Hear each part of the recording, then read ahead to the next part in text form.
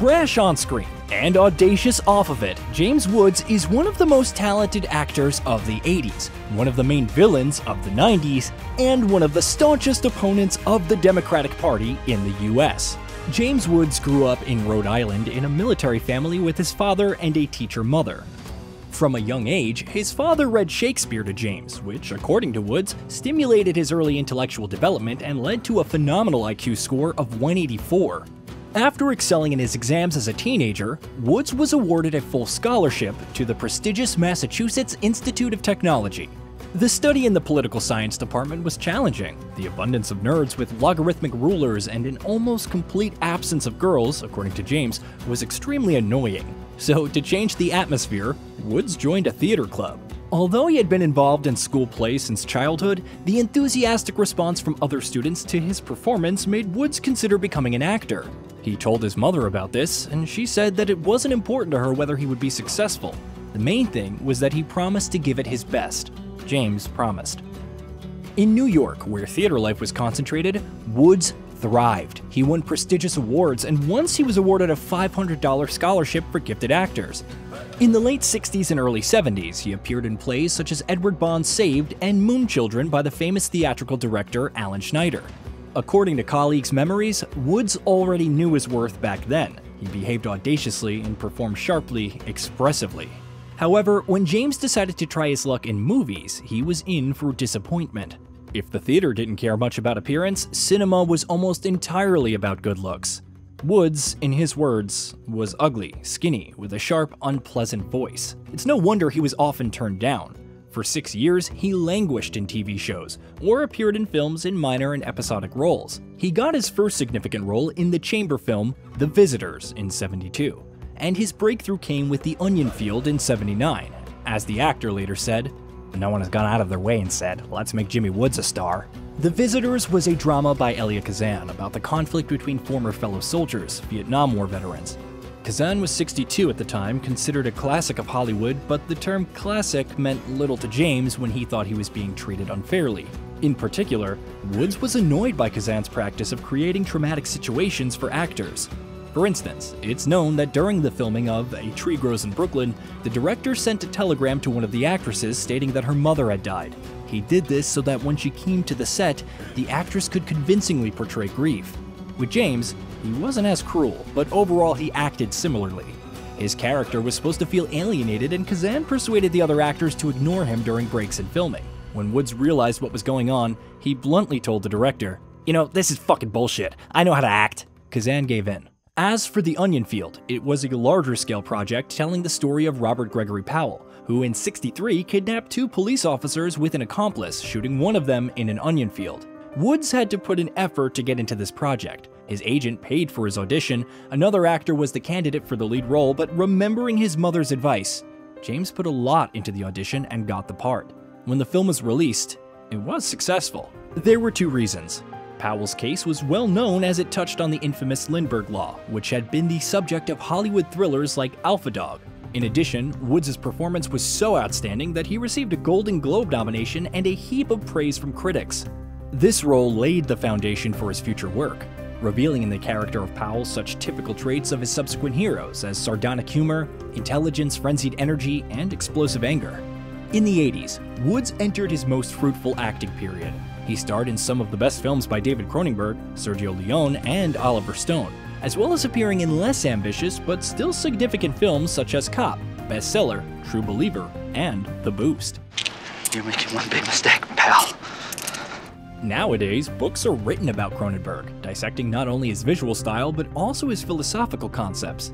However, in some cases, they might be overcomplicating things, at least regarding the Videodrome. Woods said that Cronenberg himself didn't really know how the film should end. They only had 70 pages of the script, and James came to the rescue of the director, suggesting that in the end his character, like the TV double, points a mutated hand to his head, hinting at an off-screen suicide. On the set of the film, Woods was also annoyed by the abundance of makeup simulating a hole in his abdomen, commenting that he felt like a walking slit, not an actor. Although many critics now recognize Videodrome as one of the first films in the body horror subgenre, and point out that its themes were ahead of their time, the film was not fully appreciated at the time of its release. Once Upon a Time in America was different.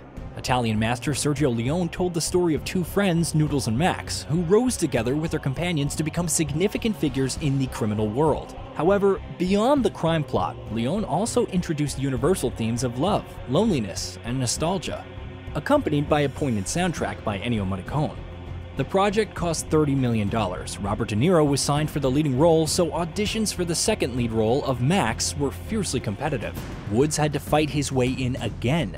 To get the job, he asked to rehearse with De Niro, and although Max was described in the script as a light haired Greek, James' performance so impressed both De Niro and Leone that they decided to cast him. Filming partly took place in Europe, and in the company of De Niro, Leone, and occasionally visitor Federico Fellini, Woods felt no need to show off and was happy. He even enlivened one of the stalled scenes. So, his character was supposed to yell at his girlfriend and insult her, driving her out of the room while his friends laughed. However, the laughter didn't come naturally, and De Niro complained that the scene wasn't working. That's when James decided to improvise and unexpectedly inserted. You gonna tell me I don't have a way with women? The line served as a trigger of sorts, causing the actor to start smirking naturally, and the scene came alive. Once Upon a Time in America was also not appreciated upon its initial release, as the nearly four hour film was cut down for distribution in the US, discarding half the material and turning a carefully thought out composition with shifting timelines into a narrative devoid of logic. Consequently, the box office returns were meager, and critics' taunts were harsh. This hit Leone hard, and Woods later regretted not calling him after this distribution disaster, not finding the right words as he was too young and inexperienced to know how to support the master. The third in a series of outstanding films for Woods in the 80s was Salvador. The film told the story of a gonzo journalist collecting material in Civil War ridden Salvador. This was the first of two films Oliver Stone directed under contract with Hemdale Film Corporation, and also one of his last two chances to make a mark in Hollywood, since his two previous films, Seizure and The Hand, had flopped. Perhaps for this reason, Woods, by this time gaining traction in the film circles, was not exactly respectful with Stone and others. As the director said, during the shooting, which took place in Mexico simulating Salvador, Woods once snapped and, frustrated with the tough and unsanitary working conditions, wandered into the Mexican desert, where the police called by the director found and brought him back to the set. James also relentlessly pushed his namesake James Belushi into the background and didn't give him any screen space. When Salvador was released, it had limited theater screenings and cable airings, but critics nonetheless noticed Woods for another expressive and contradictory character, and the Academy nominated him for an Oscar for Best Leading Actor. You love this woman, you will be willing to change. okay. I still drink and take a few hits of a joint or something once in a while, alright? That's okay. In the same intense 80s for him, Woods starred in the crime film Cop, the detective drama bestseller, the melodramatic thriller Against All Odds, as well as the film True Believer and The Boost. Cop is notable because it's the first film adaptation of neo noir master James Ellroy. Unlike the novel, the film turned out to be more polished, without Ellroy's typical brutal scenes of violence and sex. Woods not only played the lead role in this film, but also produced it, and later said he chose this project instead of starring in Stone's Wall Street. You know, it could have been a mistake. He commented on his choice.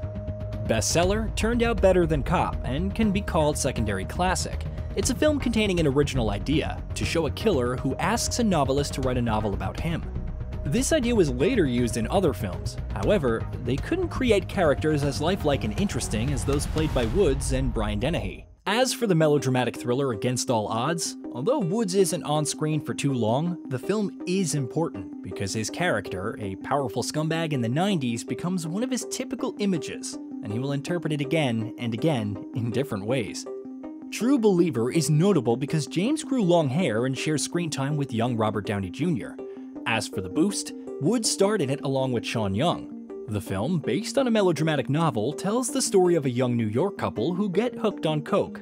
Sharon Stone auditioned for the lead female role, but Woods and director Harold Becker preferred Young.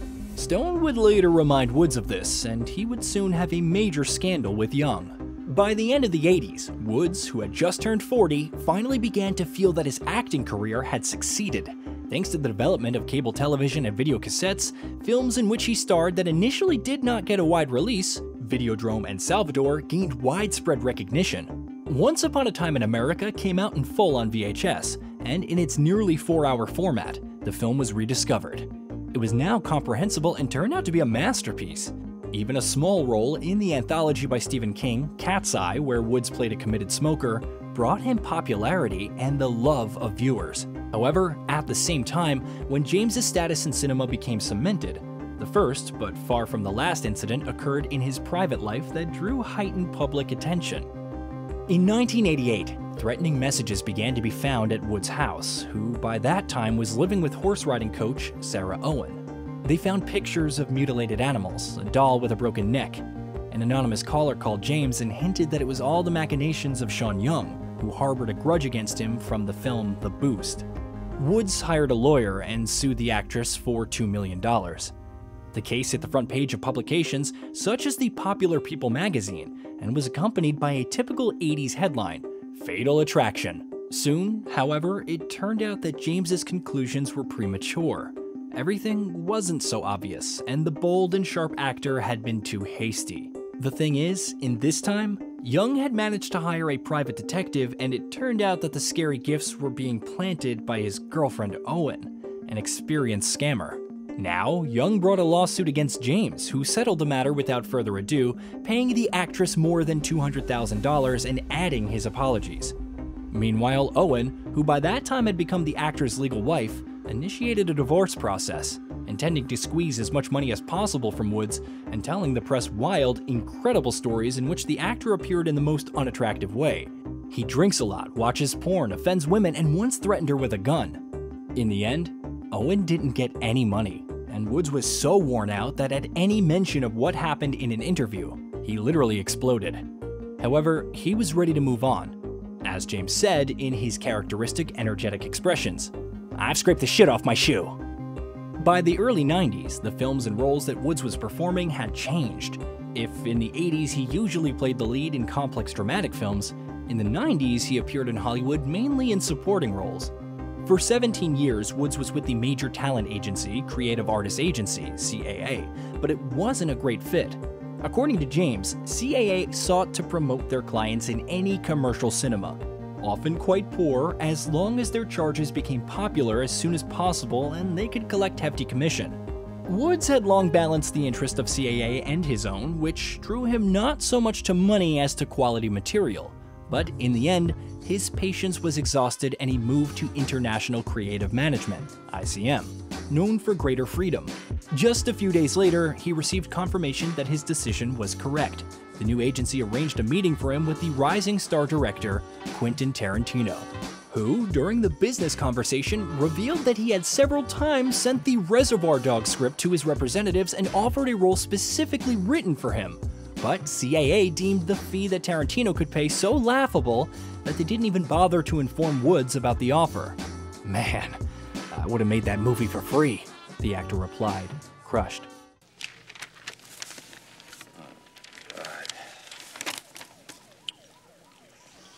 Now, having moved to ICM, he instructed all scripts to be sent to him for personal review, and he sometimes pursued up to 15 per week. One of Wood's key Hollywood roles became his work in the comedic action movie The Hard Way.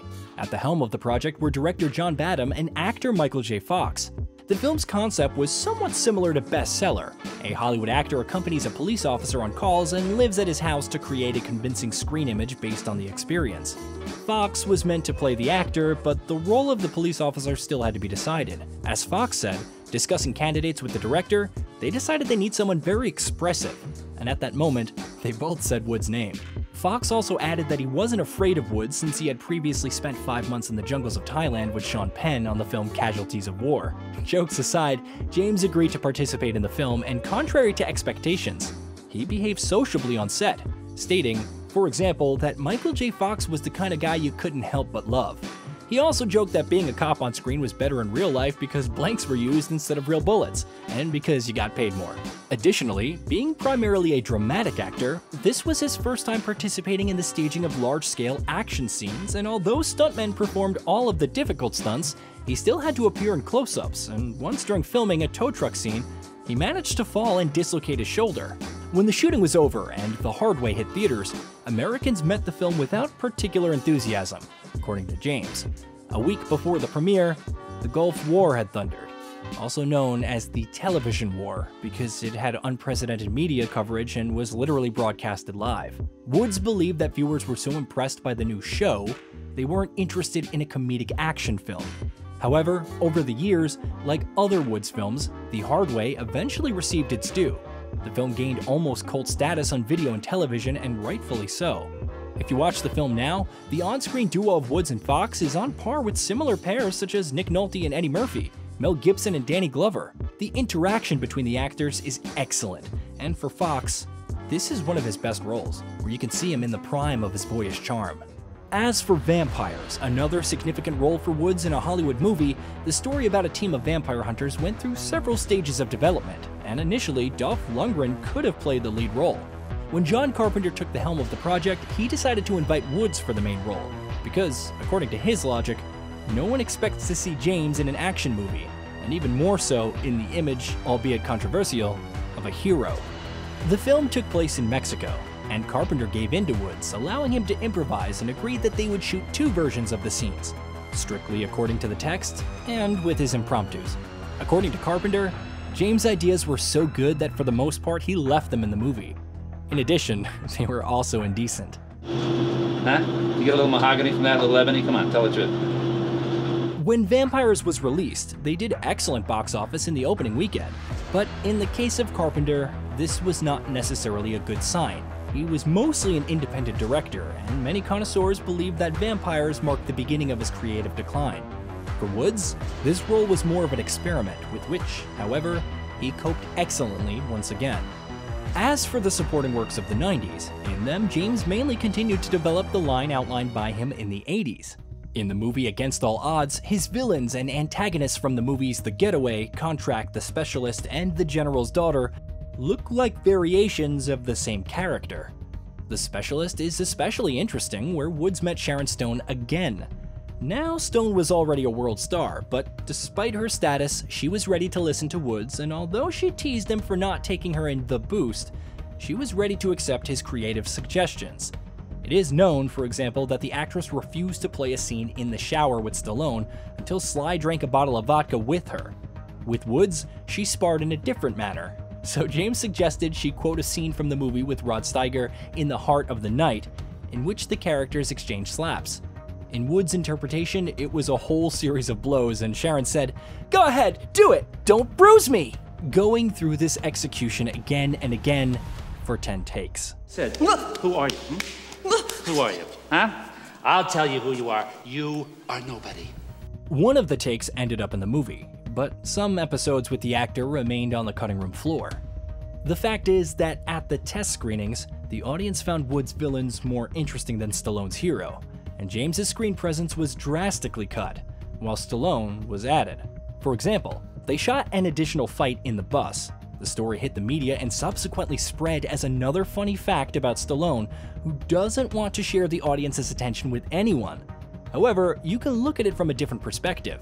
As the director of The Specialist, Luis Llosa, explained, the editing and reshooting were related to the fact that The Specialist is a Stallone movie and viewers come for his hero, not for the villain played by Woods. During this same period, James also performed a number of small but resonant dramatic roles in Nixon, Ghosts of Mississippi, and Casino. Since the time of Salvador, Woods had befriended Stone.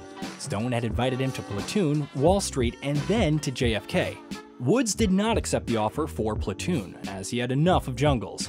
He turned down Wall Street because he wanted to film Cop, and he declined JFK because his agent felt that James was too high profile for the small role being offered to him. However, for Nixon, Woods ignored everyone and agreed to play a small role. The film was about the 37th President of the United States, Richard Nixon, and in particular about the famous Watergate scandal, when it was discovered that Nixon's aides had wiretapped their Democratic Party opponents. James played Nixon's chief of staff, a man named Harry Robbins Haldeman. The final runtime of the film stretched to three hours, and although Woods spoke in interviews about how wonderful the picture was, the general audience received Nixon without much enthusiasm, and the film flopped at the box office. This, however, did not prevent Woods and Stone from working together again. Four years later, James appeared in the director's film Any Given Sunday. Ghosts of Mississippi also touched on politics and told the story of Byron De La Beckwith, a racist and Ku Klux Klan activist who killed a black civil rights activist, for which he was tried several times until on the third attempt, already a pensioner, he was finally sentenced to life. Initially, 70 year old Paul Newman was considered for this role, but 50 year old Woods fought his way through, pushed Newman aside, and persuaded director Rob Reiner to take him. Age was added to him with the help of makeup. As James said, preparing for the role, he noticed how naturally racists pronounced the N word. He trained a lot and achieved the same ease. However, when the film was completed, the frequently repeated N word scared the producers, and for the first television broadcast, they decided to replace it with Nibbler. But soon it became clear that Nibbler was more ridiculous than the politically incorrect N word. So in the end, they returned to the first option, reassuring themselves that although the word is offensive, it's at least historically accurate. When Ghosts of Mississippi was released, the film attracted attention only because of Wood's performance. His impressive interpretation of De Beckwith caused a fervor in the press and brought him his second Oscar nomination. This time, however, in the category of Best Supporting Actor. Although working with Stone and Reiner meant a lot to Woods, the main director he wanted to work with was Martin Scorsese. Remembering the annoying episode when he missed out on a role in Reservoir Dogs due to his acting agency, James now personally monitored what new projects the Masters were preparing, and when he learned that Scorsese was filming Casino, he left him with the following message Any part, anywhere, anytime, any price. An excited Scorsese called back and offered James a small but plot forming role of a con man with whom Stone's character has been in love with since childhood. The job took two days. Upon arriving on set, however, Woods suggested expanding one of the scenes where he just talks on the phone and adding some powder and a prostitute. Initially, Scorsese said this was impossible, but then hired a girl from one of the Las Vegas establishments, so while the powder was fake, Woods, as he says, really used the girl's services. On set of Casino, James also crossed paths with Robert De Niro for the second time, and once again with Sharon Stone, with whom he had become friends by this time. The actress later said, Jimmy was one of the few Hollywood people I invited to my wedding. He's simply a wonderful man. In the late 90s, Woods also appeared in Sofia Coppola's film The Virgin Suicides. Although the actor's hallmarks have always been expressive play, accompanied by bursts of rage and sarcasm, in this film, James showed a different side. He played in an introspective manner and appeared in an atypical image of a school teacher and family man. By the early 2000s, Woods, who had worked with Cronenberg, Leone, Stone, and Scorsese, began to become disillusioned with cinema. Although he no longer had to make great efforts to get a role in a film, and directors themselves sent him scripts, he was not satisfied with the material. As James amusingly expressed in a 2006 interview, Finally, I saw a good movie, The Departed. And look what it took. It took Marty Scorsese, Matt Damon, Mark Wahlberg, Leonardo DiCaprio, Jack Nicholson, screenwriter Bill Monahan, and it's based on another movie. In light of such statements, it is understandable that his role in Scary Movie 2 was more of a joke, although this joke became a meme thanks to his improvisation. Fuck this. Fuck. See this? His roles in films like John Q, Be Cool, or later in White House Down and the remake of Straw Dogs could add nothing more to his reputation. In 2006, like many actors looking for challenging dramatic material, he turned to television and, accepting an offer from the president of CBS and his longtime friend and poker partner Leslie Moonves, he signed up for the role of a lawyer in the series Shark. The script was written specifically for James and took into account his established image of a contradictory hero, as well as some contradictory facts from his personal life. For example, his interest in young girls, with whom he, a 60 year old bachelor, was dating, raising fierce prejudice in the media. Shark lasted two seasons, relying entirely on Wood's charisma, but even during the shooting of the first season, James unexpectedly learned of the sudden death of his younger brother, with whom he had just traveled across the states of America. After the funeral, he felt really bad, but said to himself, I'm a man, I'm tough, I'll do it. He said, heading off to work. Nevertheless, due to a bout of hypertension that occurred on the set, he had to take sick leave and spend some time at home. When the show, which was extended for a second season and had some success, faced production difficulties and competition, James ended the contract. His interest in public life was growing. Back in 2001, as a first class passenger on the Boston Los Angeles flight, James noticed a group of four suspicious Arabs. They were tense, whispering about something and ignoring the stewardess. Woods, a lifelong actor accustomed to observing people, understood that something was wrong. He called the co pilot and told him that these men apparently were planning to hijack the plane. A month later, when the terrorists hijacked the planes, including a liner on the Boston Los Angeles flight, and crashed into the Twin Towers, James called the FBI, and the next day he was questioned by special agents. Although there was no official report on this incident, it is believed that Woods witnessed what is known as a practice run, in which the criminals rehearsed their plan of action. As Woods later said, he recognized two of the 19 identified hijackers. The other two, he was unofficially informed, also participated in the attack. In 2009, Woods set up a Twitter account and began openly writing about what bothered him in today's America. A former political science student and the person with the highest IQ among Hollywood stars, Woods, in his posts, responded to various manifestations of public life in the US, criticizing the aggressive agenda of social and gender inclusivity, attacking the policy of the Democratic Party.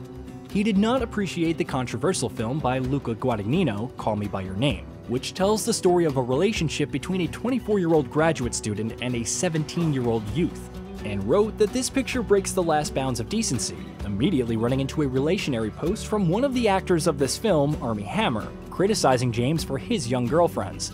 He criticized cases where parents involved little children in gender experiments.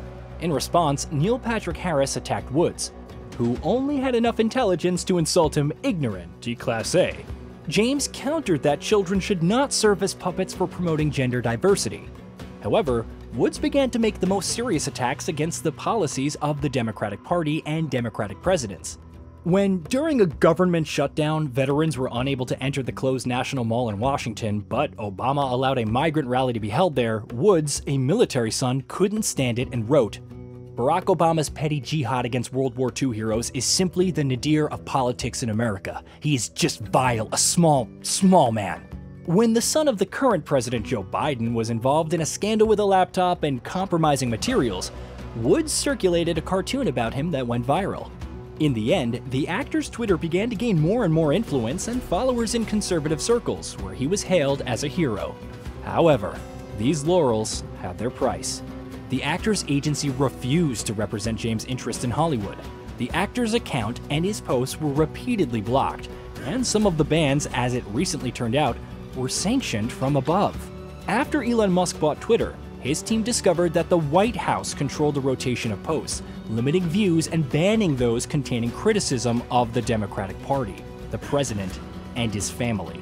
Upon learning of this, James said that he would initiate a public lawsuit against the Democratic Party Committee of the USA and accuse them of fraud, as well as of negatively affecting his acting career. The former star of the movie Nixon, Woods, wrote a post addressed to President Biden. How is the Twitter file chicanery any different from Watergate in sum and substance? Nixon resigned when his henchmen tried to subvert free speech. Your turn, Mr. Biden. These intentions of Woods well illustrate his vibrant career and life path. Sharp on screen and bold in life, James once again showed himself as a man ready to prove his rightness before any authorities. As for his acting works, controversial and expressive characters of the 80s and 90s, they have long been recognized. If you like the video, don't forget to give it a thumbs up and subscribe to the channel. Thanks for watching, and I'll see you soon.